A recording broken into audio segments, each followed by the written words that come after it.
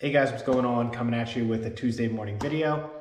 So I just want to capture this video basically by saying big week, stock start now. That's kind of how I want to title this one. The reason I want to title this is because there's some, uh, today, there's some, there's two big stocks that are really reporting that are going to kind of set the tone for the market this week, in my opinion, as far as like a lot of the stocks, maybe if you guys follow the same stocks I am in, you guys will be in also. So it's going to set a lot of the mid caps, small caps, fintech, all that stuff. So it's really going to set the bar for it. The one, well, the two that I'm most interested in watching tomorrow, they both report after the bell. Uh, one is Google. There's obviously private, or, well, ticker, ticker is G-O-O-G. Uh, Google's the, obviously the company, so everyone probably knows what Google is. If you're watching YouTube, uh, Google does own YouTube, if you didn't know that. So they own a lot of big platforms, and you can get a real good consensus on, you know, how the economy's doing, especially digitally off YouTube, as far as like advertisements, uh, how much advertised revenue they're getting, how much they're distributing, what's uh, the user activity, and all that stuff. So it gives you a really good outlook of how Q1 really was.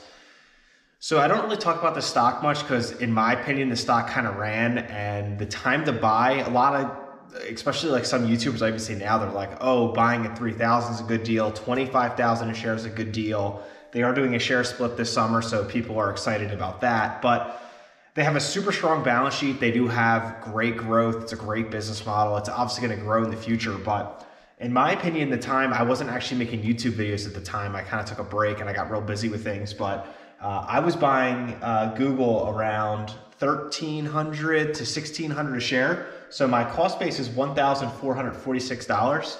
Even with this huge pullback, Google right now is 2,461. So it was over 3,000 not too long ago.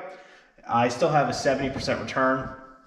Uh, this is a long-term gain position of mine, all my shares. So in my opinion, it got a little overvalued. That's my opinion. That's why I don't really talk about it. I really like talking about the stocks that I am currently building out or ones that are on massive corrections ready to average cost down. So this is one of the stocks I'm actually up 70% in this market still. I wouldn't be interested in averaging cost up unless it hits like 2000 or less in my opinion.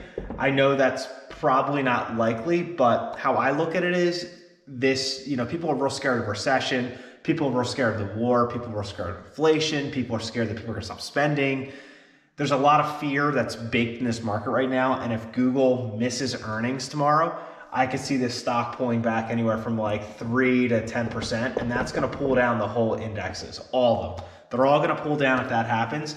If that does happen, I'd be more inclined maybe to buy it if it gets closer to this. If it rallies up off good news or they beat or they have a decent earnings and it stays kind of stagnant, I'm totally cool with my position. I don't know if I would really buy it at this price there's so many good deals in the market. Obviously, it depends on your risk factor, your age, and you know, there's a lot of things. But you know, looking at this price, if I had to do it all over again, I probably wouldn't buy 2,461 right now.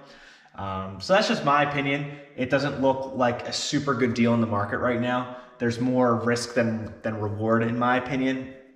That's you know based on other stocks in the market. So it's kind of my thoughts on Google. I think they're going to have an okay earnings. I don't think they're going to smash it out of the ballpark, but I also think they're they're not going to have huge misses either. So I think it's kind of going to just kind of float around where it is. That's my opinion.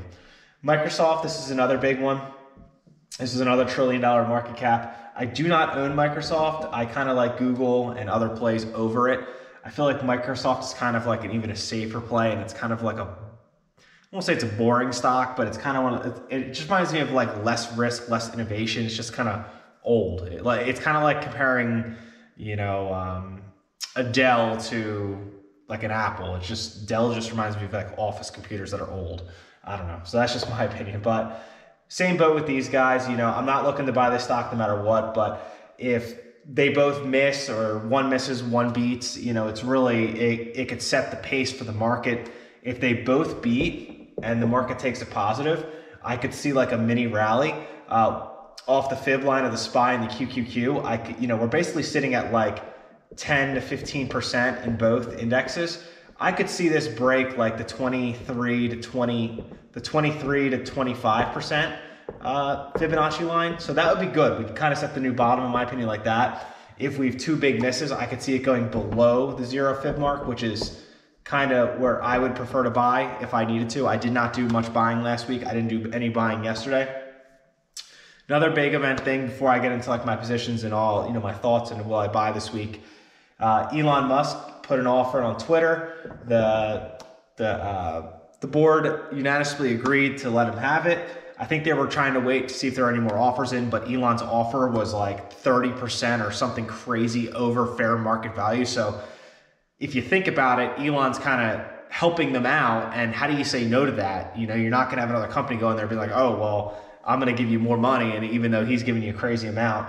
So I think Elon has big plans for it. That just shows you how confident he is in his business move. You know, he's not going to do that to make you know, to lose money. He, he knows what he's going to turn it into and make it successful. So it's real sweet. I mean, I'm super happy about it. I think that, you know, it's good for social media. It's good to get things shaken up sometimes. And, you know, I, you know, some people could say, oh, Elon, you know, he's kind of a loose cannon. Yeah, he might be, but at the end of the day, I really think he has people's best intentions in mind. That's, that's my personal opinion. So I'm kind of excited about it personally. Um, I don't know how the employees are, you know, think of it there. I mean, I'm sure they're a little upset. Um, there's going to be a lot of changes probably coming up in the next six months, but we'll see what comes of that. That was kind of real big news yesterday. It was basically on CNBC all day, and that's all they talked about in the back half. Uh, Dow finished up 0.7%, S&P finished up 0.5%, Nasdaq finished up 1.2%. My portfolio did not outperform really any of them almost. It only finished up 0.6. Um, small caps, uh, Tattooed Chef, Corsair Gaming, they're larger positions mine. They were not doing well yesterday. They did not finish green, so that's probably why I was lagging here a little bit on the indices. That's just my opinion. Everything else did great though. So yesterday the market was crazy. It opened up, you know, pre-market it was down, and then when it opened, it went down. Then you know this is this is middle, down, up, down. It was like confused, and then when it hit afternoon, it kind of just got this crazy rally up into close. So that shows you hope that people are antsy, people are optimistic on the week for earnings. So that's a good sign, uh, especially if you're mainly priced in the market. I would be totally content in this market to not put another dollar in for a month or two. I've been buying super heavy the past six, eight weeks. So I'd be totally cool with that. If it goes down, I need to take advantage of it though. So either way, I think I put myself in a position personally to win-win in either situation. So what my plan is basically I'm going to sit tight, be patient. I probably will not buy anything tomorrow during the trading day unless something really crazy happens during the trading day. Uh, will I buy this week? Absolutely, I might buy if there's major pullbacks or these guys both miss in the market. The whole indices pull back another one to five percent.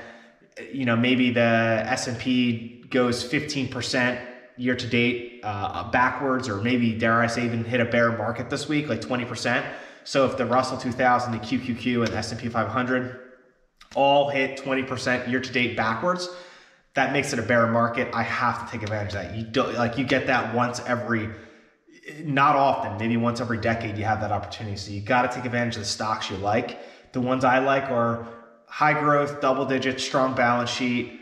Um, you know, you know, you know, companies don't make it through really anything. So uh, long term, they'll be fine. Short term, they might feel a little bit of pain, but as a long term investor, that's kind of how I do things, and it's been working for me for the past couple years. Um, there's been, you know, I, I, feel like there's two or three crazy changes in the market we had, you know, in 2018 and 2019, it was just slow and steady, minus that uh, winter in 2018. But let's just say 2019, slow and steady. COVID hit, dropped off face of the earth, rallied back. No one thought that V-shaped recovery. And then we went a year and a half of just insane gains. And then now we just like lost all of it and then some. So, you know, in the past three years, it's been, you, have kind of had all three kinds of markets just all real quick. So that's kind of my thoughts on it. I mean, really, no matter what market you throw at me, as a long-term investor, I'll take advantage of it. So at this time, you know, it's just grind time. Just, just grind, save, buy, invest, and then you'll thank yourself later. So till tomorrow, I'll probably make a video on one of these two tomorrow, whatever one I find more appealing. Probably Google because I own it. Um, but yeah, so if you're interested in that, subscribe and uh, see you tomorrow. Peace.